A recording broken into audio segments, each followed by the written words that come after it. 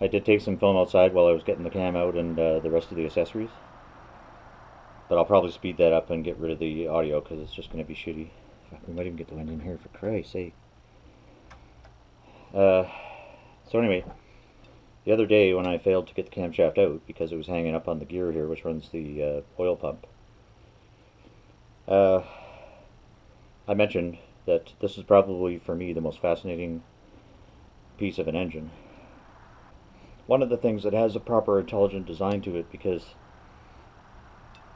each of these lobes is precision ground to turn rotational energy and convert that to a uh, up and down perpendicular motion. And that's what lifts the valves.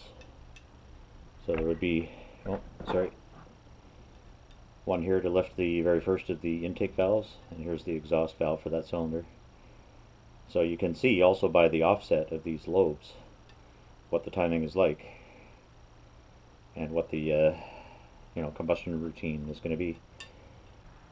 As I was mentioned the other day it only takes very fine thousandths of an inch in the profile of this thing to change entirely that up and down motion. Subtle but Jesus Fuck. Uh, very subtle, but uh, that has a, a, drastic impact on uh, how the engine will work. And of course, if you're into racing, uh, you would have very specific profiles that you would want. Uh, perhaps a longer duration on a intake to get more uh, air fuel in, or a shorter exhaust stroke maybe if you were going to do high RPM type stuff. Um, yeah, so there's a there's a whole black art to the uh, grinding of these. The only other cam experience uh, I have directly was with the Studebaker when we did the cam in it. And on that one, you could easily see with your eye when you looked at the two different lobes for the various that it was, you know, almost round and didn't have such a pronounced lobe to it. And uh, that's how you know when uh, when the lifter has been uh, eating away at them. Uh, it'll eat away at both. They uh, they grind each other down. They grind little bits off, and then of course you don't get the duration and the lift that you want, and it'll hurt performance. Uh, or raw horsepower. You know, it'll it'll yeah, it has all those effects.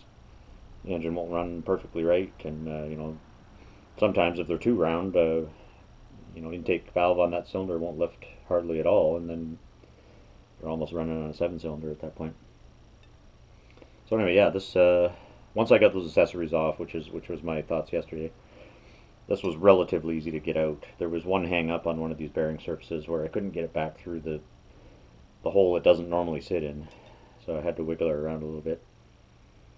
But uh, and that now is a totally empty block. Uh, nope, I'm sorry. There's one more thing in there, and that would be the lifters themselves. I haven't uh, pulled them out yet. But essentially, it's down to no rotating parts whatsoever. It's just down to the bare block and the uh, 12 lifters.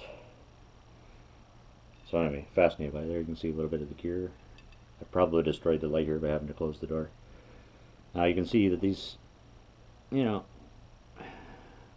they're only really rough on the edges, which is good because that's not where the lifter rides. So, I mean, I think I'll just put this back in. I'll, I'll, if I get some uh, calipers and some good measurement tools, I may uh, try and do some, you know, rough-ass measurements of my own just to figure out what that lift distance is.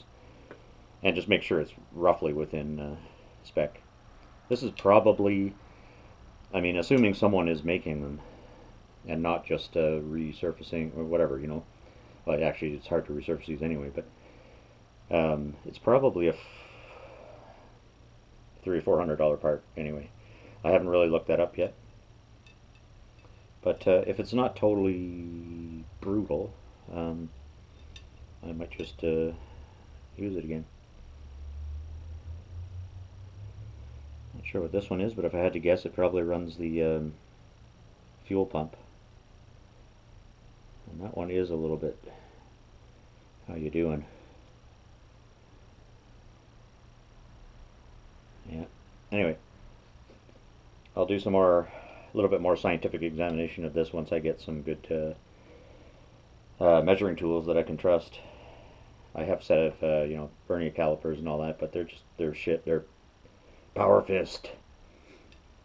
So uh, I'll try and uh, splurge on a couple of nice tools to uh, measure the bores, measure all the cylinder bores. We're looking for taper there, or we're looking for no taper or little taper, and measure that ri uh, ring ridge, which there's not too much you can do about unless you're going to bore out the engine, get it right again.